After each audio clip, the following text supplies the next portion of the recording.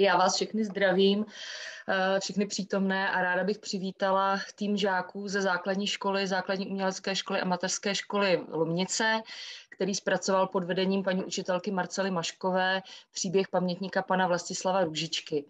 Já bych teď předala eh, slovo Tereze Benešové eh, a poprosím ji, aby představila celý tým a seznámila nás s jejich výstupy z projektu. Děkuju.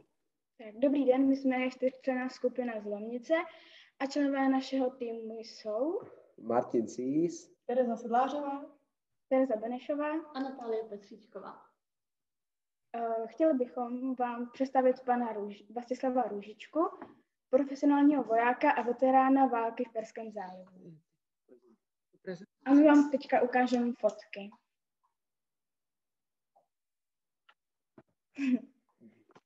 tak když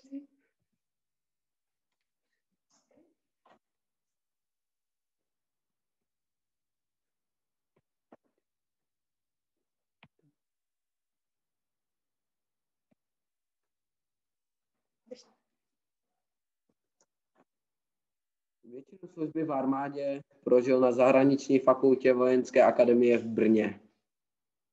Velel jednotce technického a týlového zabezpečení pro zahraniční posluchače. V roce 1990 odjel na vojenskou misi do Perského zálivu a tady je pan Ružička s americkými vojačkami. Tady je fotka s holčičkou, kterou se vojákům povedlo zachránit z trosek při bombardování města. Pan Růžička s kolegy v Kuvajtě. Pan Ružička a jeho auto. A tady je s místní ženou. Takhle to vypadalo, když byli v zákopech. Zkouška zbraně, zbraně před útokem. Jak to vypadali vojáci oblečení do prostředku protichemické ochrany. Náš pamětník nám ukázal spoustu vyznamenání, která za svoji misi získal. Vyznamenání srdského krále, mírových sil OSN, za službu vlasti, za obranu vlasti a za osvobození Kuwaitu.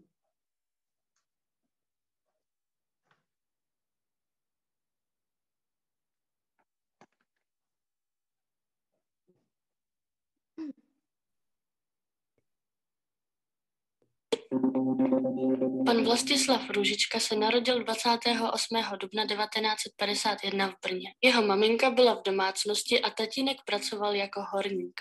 Bohužel mu maminka brzy zemřela a on se musel přestěhovat k babičce a dědečkovi do Ostravy. Často navštěvoval svého pradědečka, který byl za první světové války legionář. Svým vyprávěním ovlivnil rozhodnutí pana Růžičky stát se vojákem z povolání protože jsem byl vychovávaný u toho svého dědy a často jsem jezdil do Velkých Losin, kde jsem měl pradědy, který byl v té válce první světové na té ruské frontě. A on mi vykládal o té válce. Vždycky jsme seděli na zahradě, tam měl takovou starou lípu, tak pod tou lípou jsme seděli a když jsme tam přijeli, tak on nám jako vnukům vykládal, pravnukům vykládal. Potom nám vykládal o druhé světové válce. Po absolvování základní vojenské služby v armádě zůstal. Jeho posledním působištěm byla Vojenská akademie v Brně. V roce 1990 obsadil Irák Kuwait a vypukl tak válečný konflikt, označovaný jako válka v Perském zálivu. Na obranu Kuwaitu se postavilo 28 států, mezi nimi i Československo. Naši vojáci tam dostali za úkol vytvořit chemickou jednotku, která měla zabezpečovat speciální očistu vojsk v případě iráckého chemického útoku. Mezi těmito vojáky byl i pan Ružička. Ve vzpomínkách popsal náročné podmínky v poušti, ať už to bylo vedro, či všudy přítomné hrůzy války.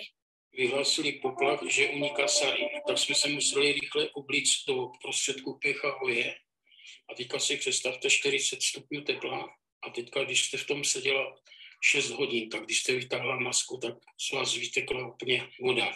Tady jsem přijel ke koloně, která byla 2 kilometry dlouhá, z Kuwaitu do Jahry a američani to tam helikoptérama a pačama rozstříleli. A když jsem přišel k tomu autu, tak mě tam vypadla vohořelá hlava. Naši vojáci také pomáhali místním lidem, které válka zasáhla.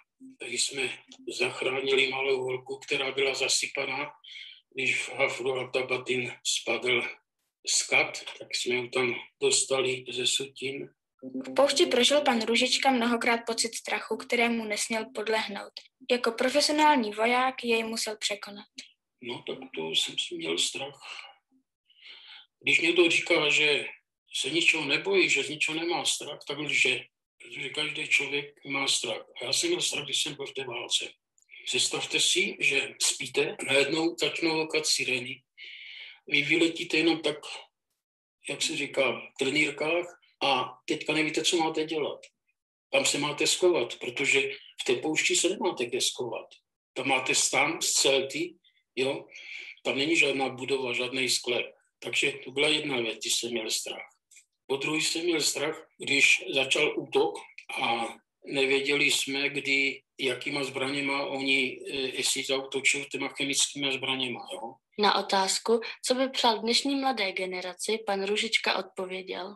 Ne, že jsme, jak se říká, ovce, že někdo něco zavolá, my všichni to, od, od to. Člověk musí mít svůj vlastní rozum. A pokud ten svůj vlastní rozum bude mít, tak ho potom nikdo nemůže s ním kroutit. Nemůže ho, jak se říká, ovlivňovat, nemůže ho zneužívat k těm svým záměrům. Takže to bych přál mladé generace, aby začala přemýšlet.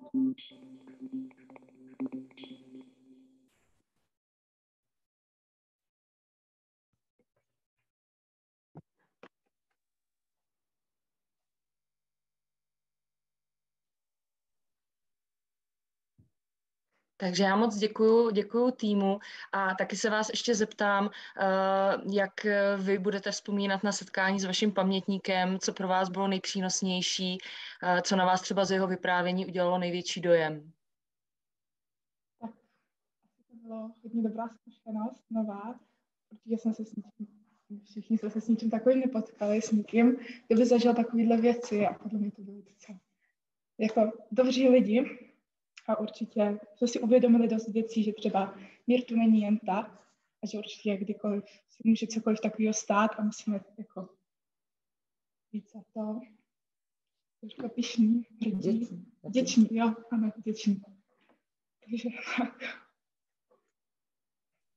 Dobře, já moc děkuji za zhrnutí a předám slovo zpátky Martině.